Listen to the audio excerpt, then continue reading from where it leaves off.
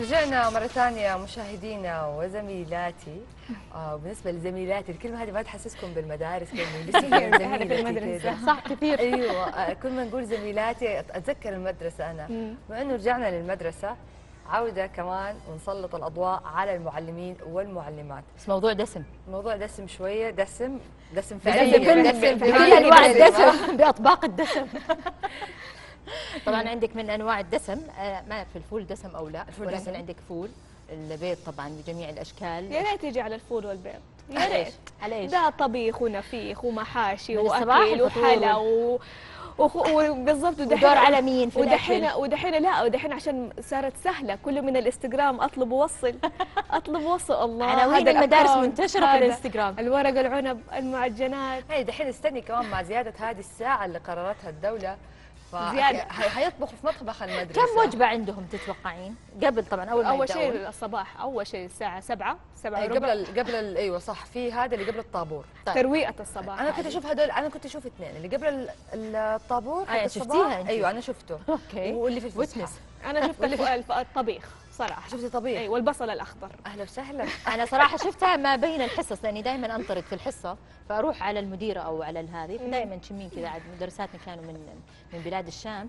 فتشمين يعني أنواع الورق العنب والتبولة والأشياء اللي وإحنا عندهم. الطالبات زي القطة أنا واقفة برا. جد إحنا مقصف وحالة حالة وعصير وشيبس و... ومرة نحزن. طيب إلى غرف المعلمات. من داخل غرف المعلمات ترى حتى المعلمين عندهم نفس الحركات. ولكن في هذا التقرير نشوف إيش عندهم من أكلات.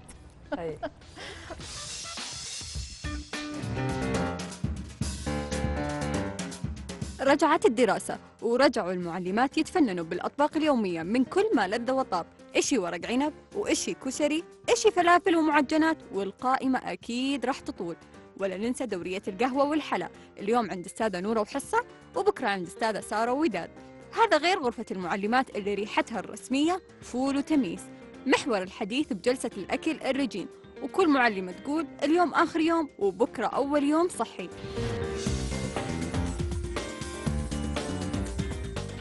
تمر الأيام والعبارة تتكرر مع كل سفرة. خلص الترم الدراسي ويبدأ ترم دراسي والحال هو الحال. غرفة المعلمات إيش أسرار شره الأكل وراها؟ وإيش رأي المختصين؟ وكيف نبدأ التصحيح من داخل هالغرفة؟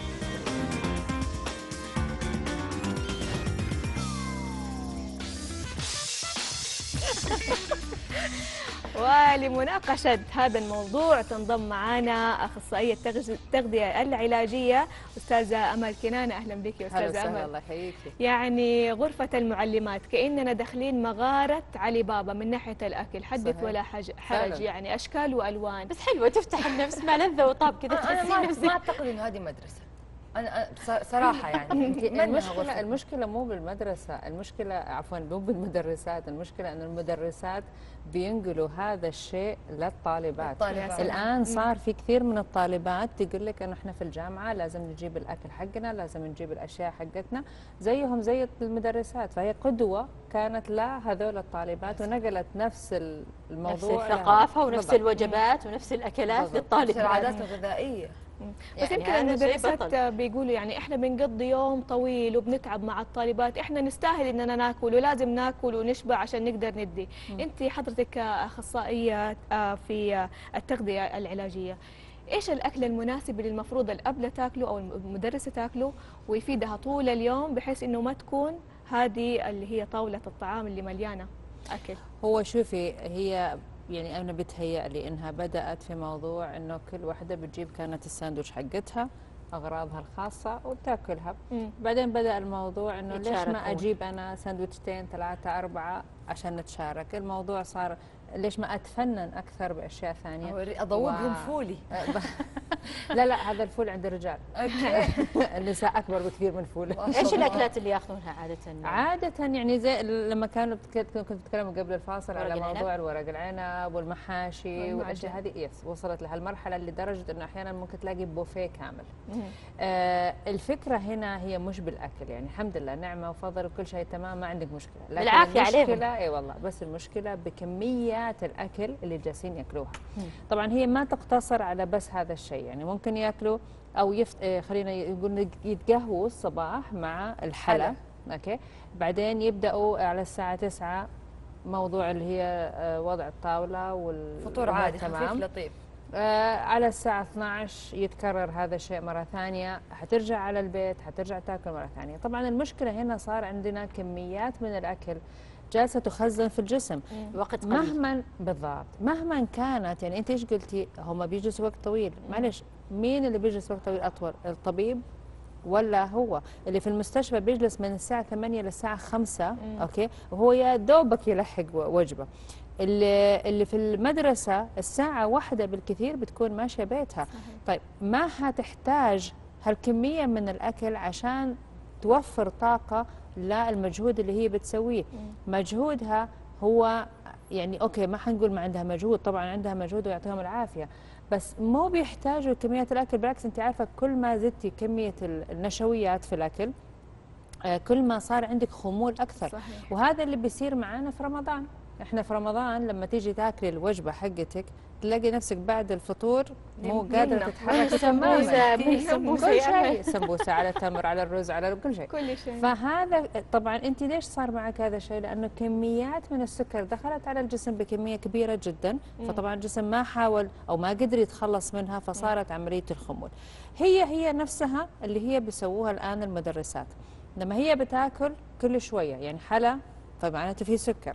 جينا على بعدين حتاخذ. خبز أو معجنات ففيها سكر لأنه بالأخير هذا. يتحول إلى يجربون سكر. وصفات بعض يعني أمل. في الليل على الانستغرام مطلعين أنواع الوصفات وهذه يطبخونها في البيت ويجون يجربونها في بعض ويتشاركون صح. فيها. طب يوزعوا على الطالبات.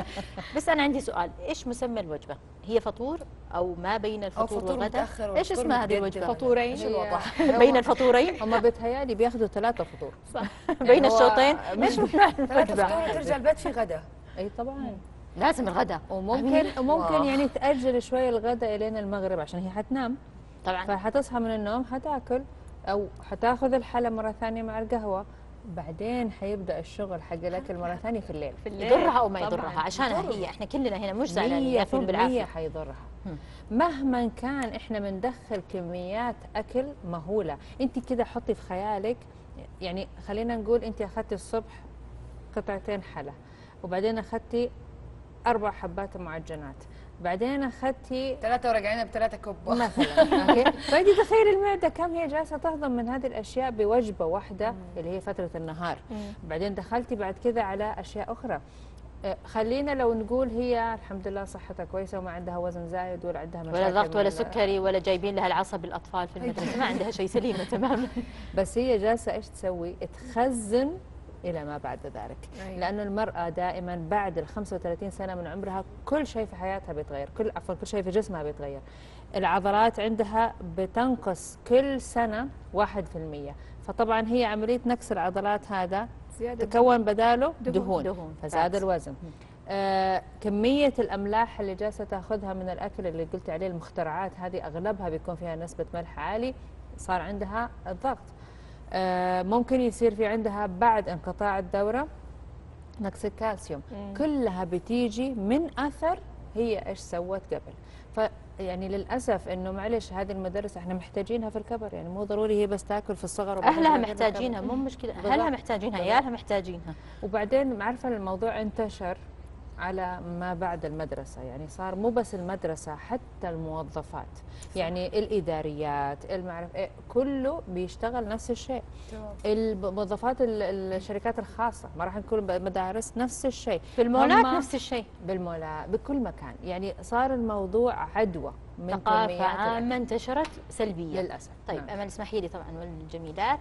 فاصل قصير ونعود.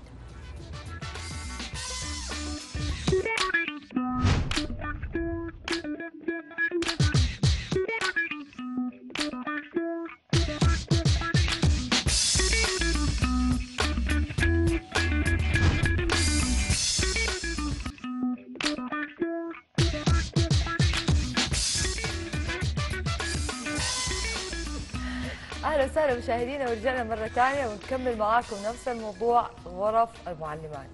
طيب مع دكتورتنا وجميلتنا اليوم الأخصائية أستاذتي الكريمة أنا أبغاك دحين تفسري لي دور المعلمات ال- يعني اللي بيدرسوا لغات أو مواد علمية مو يمكن يكون سبب استنفاذ الطاقة في شرح الدروس وكذا يعني في الفصل 45 دقيقة الحصة دحين فما أدري إذا هي تغيرت ولا لا أيوة،. آه ف 45 دقيقة هي واقفة وبتشرح مادة علمية سواء كانت رياضيات فيزياء كيمياء أو أي لغة ثانية مثلا. آه انجلش أو فرنسي فما تحسي إنه هم ممكن لأنه بيستنفذوا طاقة فبيروح مثلا بعد ما يخلصوا الكلاس على طول مثلا أنت رحت نقرق لها كم حبة كده يعني تفرغ وتعبي؟ أيوه. بالضبط. ما ينقصها طاقة. طب هو الطالب مش بيستوعب كمان؟ الط- ما الطالب أكيد بيجوع. طاقة؟ طب ما هو جالس ما ما أكل.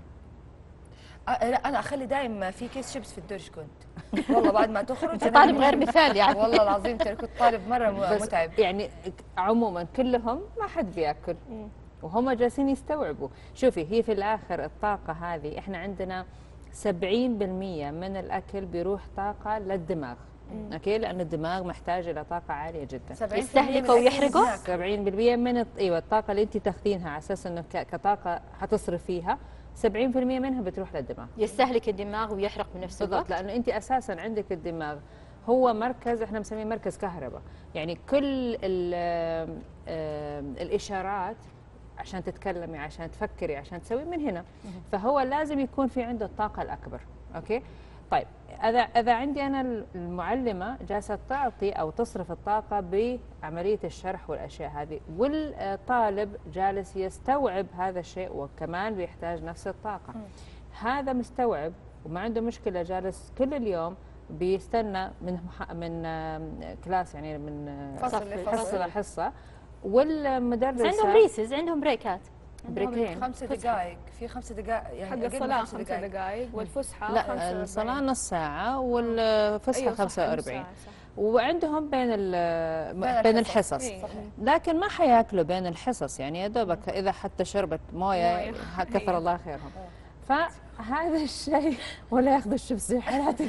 شيبسي يا جماعة الشيبسي كده على طول أضرب الكيس لا لا لا لا الله لا تعلمين تعطيهم- الحركة. لا لا لا لا خلاص دحين ما في لا شيبسي ولا مشروبات غازية كله ممنوع. تماماً. فهذا الشيء طبعا أنت معناته إذا بتقيسيها هم اثنينهم جالسين يصرفوا طاقة واثنينهم قد وهذا قادر يجلس بدون أكل وهذه ممكن تقدر تجلس بدون أكل لأن هي مو محتاجة هذه الكميات من الأكل هي محتاجة إلى شرب. وليست أكل. يعني محتاجة إلى شرب موية كثير عشان يعطيها نسبة الأكسجين العالي لأن تعرف الموية أساسا هي إيش؟ هي عبارة عن H2O. هيدروجين وأكسجين. فالأكسجين حيعطيها ال- الكافي إنه هي تشغل الموضوع الدماغ بطريقة أفضل. لكن الأكل حيعطيها الطاقة اللي هي مش محتاجتها الطاقة. اللي بنسميها الخاملة اللي بتعملها خمول. صحيح. فما ما محتاجين هذا الشيء. بالعكس عشان كذا أنا ضد فكرة إنه هي إيش ممكن تاكل. المعلمة يعني في خلال فترة ال- النهار الدوام؟ أول شيء الصباح إحنا دائما ننصح قبل لا تطلع من البيت لازم تاخذ آه، حبة فاكهة أوكي؟ أو مثلا كاس حليب. أو ممكن اثنين مع بعض. مم. يعني مثلا تاخذ التمر مع حليب أو تمر مع لبن. هذه وجبة كاملة تعطيها طاقة على الأقل لمدة ثلاث أربع ساعات. بعد كذا بيجي اللي هي وجبة اللي هي من إحنا نسميها رفع الطاقة مرة ثانية. آه بتكون طبعا ساندويش. إيش من كان داخله؟ هي طبعا إيش هي من عائلة. الكربوهيدرات أو من عائلة النشويات هو يعتبر نشويات أيوه كربوهيدرات مع بروتين اللي هو جبن أو بيض أو اللي هو حسب رغبتها. وبعد كذا بيجي اللي هو آه، خضار خيار خس جزر. هذا تقدر تعيش عليه كل اليوم. يعني حركات الفول. وما فول والسفرات هذه الممدودة؟ المفروض لا. المفروض يعني أنا يا؟ ريت يا ريت وزير التعليم زي ما طلع ممنوع الشيبس يطلع ممنوع السفر. أعطيه هذا. هذا يا كيف ريت. خطاب إلى وزير التعليم. والله اتمنى أتمنى فعلا إنه هو يطلع هذا القرار لأنه هو خاطئ. طبعاً. ما ينفع انه إحنا نحط هذه السفر ونجلس لأنه هو مو مو مكان سفر. هذا طبعاً. مكان علم. يعني مفروض انه الشخص هنا يبدأ ياخذ الأشياء الخاصة له يخلص شغله ويخلص العمل تبعه ويمشي ياكل متى يلحقون. يدرسون؟ أنا بفهم. يفرشون الطاولات ما شاء الله والسفر على الأرض أحيانا. وبعدين متى يلحقون يدرسون؟ آه، ما هي عادي قالت لك تأخر بين. اي ممكن يعني خمس دقائق ما في مشكلة هذه. عادي يعني وفي الآخر معلش الهدر الغذائي هذا كمان حرام نقل يعني- ثقافة سيئة سيء يعني وبعدين ما هم. حيتركوا الباقي فين حيروح؟ حيروح لل... يا إما للزبالة يعني الله. يكرمكم يا إما للعاملات فبالآخر أنا كمان عملت على إني أنا أنقل كمان ثقافة غلط. للناس هذولا. ففي الآخر معلش هي كلها تعتبر خاطئة المفروض انه كل شخص يكون له أشياء الخاصه الآن حتى الجامعات. الجامعات الآن صار في عندنا المطاعم. أيوه طبعاً. وبجميع أنواعها. مم. فهذه كمان زادت عند الطلبة عملية الأكل بطريقة خطأ. زادت عند المدرسات نفس الشيء. طب نصيحة أخيرة يا أستاذة أمل آه، للمدرسات عشان توقف أمام هذه المغريات في المدرسة؟ وكمان آه، حاول إنك في النصيحة يكون فيها شيء تنقنقه غير الشيبس غير الشيبسي. غير الشيبس هو خيار وجزر خيار يعني وجزر. ممكن يقول لك تاخذيه بكميات كبيرة زي ما تبغى. الشيبس ممنوع تماما؟ اي ممنوع طبعا. ممنوع تماما.